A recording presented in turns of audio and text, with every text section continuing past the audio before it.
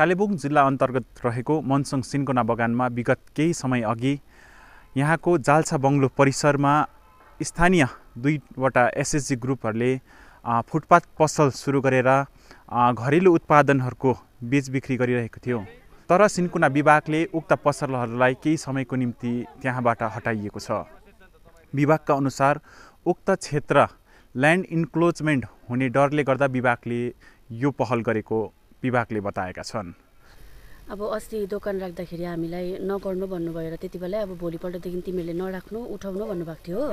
अनि हामीले त्यो त्यहाँदेखिदेखिको राखेको छैन दोकान। अन्त अब हिजोदेखि हिजो अस्ति चाहिँ अब हामी यताउति बिडिओकोमा गएर यताउति कुदी कुदाइ गरेर अब आज चाहिँ हामीले एउटा लेटर लिएर आएको। म्यानेजरलाई भेटेर दिनेवाला थियो। म्यानेजर हुनु हुँदैन रहेछ। अब यहाँनिर रिसिभ त गर्नुभएको छ आज हो। त्यो रिसिभ गरेको यी पेपरहरू आज हामीलाई यसरी दिइरहेको छ। के के आशा गर्नुभएको छ डिपार्टमेन्ट अब डिपार्टमेन्टलाई एकपल्ट अब हामीले रिक्वेस्ट त गरेको छ राम्रोसँगले अब दिनुभयो भने राम्रैसँगले गर्ने। अब दिनु भएन भने चाहिँ अब अरू तरिका अब कहाँबाट हुन्छ कसरी हुन्छ त्यो गरेर चाहिँ गर्ने भनेर सल्लाह गरेको छ। डेफिडेल एसएससी ग्रुप अनि जाल्सा एसएससी ग्रुपमा कुल सोह्रजना महिलाहरू रहेका छन्। उक्त महिलाहरूले विगत डिसेम्बर महिनादेखि त्यस ठाउँमा दोकान सुरु गरेका हुन्। उनीहरूले विभागबाट डेढ लाख रुपियाँको क्यास क्रेडिट लोन लिएका छन्। उक्त लोन भुक्तान गर्नका लागि आफूहरूले यसरी दोकान सुरु गरेको बताइएको छ। हाम्रो अब एसएसजी ग्रुपबाट अब हामीले लोन निकालेको छ सबै ग्रुप मिलेर है। अब त्यो लोन तिर्नु लागि त हाम्रो त आफ्नो आफ्नो इन्डिभिजुअल त कसैको पनि जब छैन। त्यसले गर्दा अब यो दोकान खोलेर चाहिँ अब हामीलाई अलिकति हेल्प भयो भने चाहिँ अब सबैको पनि दुःख काटिन्छ।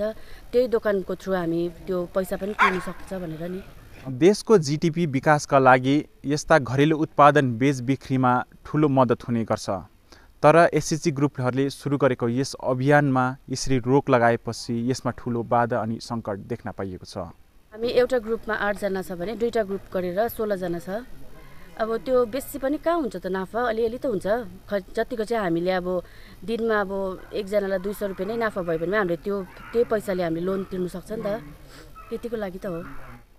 विभागले यस दोकानमा रोक लगाएपछि आज दुईवटा एसएचजी ग्रुपहरूले विभिन्न खण्ड विकास अधिकारी अनि पञ्चायत अधिकारीको सिफारिस लिएर आज मनसङका म्यानेजरलाई एक ज्ञापन पत्र बुझाएका छन्। उनीहरूको माग रहेको छ कि उक्त भ्यू पोइन्ट परिसरमा आफूहरूले पसल थाप्न पाउन पर्ने बताएका छन्। आज दुइटा एसएचजी ग्रुप रहेछ। पसलले त म भन्दिनँ उनीहरू सेल्फ हेल्प ग्रुप रहेछ। दुइटा जाल्सा एरियाको रहेछ। अनि आज उहाँहरूलाई के भनेको छु भने एउटा लिगली एउटा के भन्छ एउटा जस्तो गभर्मेन्ट रुलमा हुन्छ एउटा एप्लिकेसन गरोस्। सँगसँगै एसजिएच एसएचजीको जुन चाहिँ तपाईँको डकुमेन्टेसन छ जुन चाहिँ ब्लक अफिस या पञ्चायत अफिसबाट दिएको हुन्छ त्योहरू लिएर चाहिँ म्यानेजर अफिसमा बुझाइदियोस्। त्यो त्यो जुन चाहिँ डकुमेन्ट छ त्यसको लागि चाहिँ एप्रुभलको लागि चाहिँ हामी माथि डाइरेक्टर साहबकोमा पठाइदिन्छौँ। जहाँ पनि के हुन्छ फर्स्ट दोकानबाट नै इन्क्रिजमेन्ट सुरु हुन्छ। अन्त गभर्मेन्ट ल्यान्ड हो एउटा गभर्मेन्ट अफिसर्स भएर चाहिँ हामीले चाहिँ यो रोकथाम गर्ने चाहिँ एउटा काम हो। म आफै भिडियो भोलिन्टियरको करेस्पोन्डेन्ट भएको नाताले गर्दा यी एसएचजी ग्रुपका समूहहरूलाई मिडिया मार्फत सहयोग गर्ने अनि पत्रहरू लेख्नमा सहयोग गर्ने कामहरू गरिरहेको छु। यस मुद्दालाई अझ सशक्त बनाउन अनि सफल बनाउन हामी सम्पूर्ण नागरिक समाजको एउटा ठुलो दायित्व रहेको छ। आज चाहिँ खासमा हामी चाहिँ त्यो अस्ति दोकान थाप्दाखेरि चाहिँ हामीलाई नथाप भन्नुभएको थियो म्यानेजरले। त्यसको कारण चाहिँ अब्जेक्सन गर्नुभएको थियो। त्यही कारण चाहिँ हामी एउटा पेपरहरू ल्याएर चाहिँ यहाँ आज बुझाएको हो। अब यहाँ बुझा आज म्यानेजर भेट्नु भएन हो। अन्त त्यो के अरे उहाँले चाहिँ अब केही अहिलेसम्म दिएको छैन हामीलाई हो। अब के हुन्छ अब। नेसनल रुरल लाइभलीहुड मिसन अन्तर्गत रहेको यस एसएचजी ग्रुपहरूले ग्रामीण क्षेत्रमा महिलाहरूको सामाजिक अनि आर्थिक विकास गर्नका लागि सरकारहरूले यस्तो विभिन्न परियोजनाहरू तयार गरेका छन्। दसदेखि लिएर बिसजनासम्मको समूहहरूले सामाजिक कार्यसितै उनीहरूको आर्थिक अनि सामाजिक विकास गर्नका लागि यसरी एसएससी ग्रुपहरू तयार गरेका हुन्छन्। जमिन जमिनहरू अकुपाई गर्ने त हाम्रो त्यसमा केही उयो छैन नि।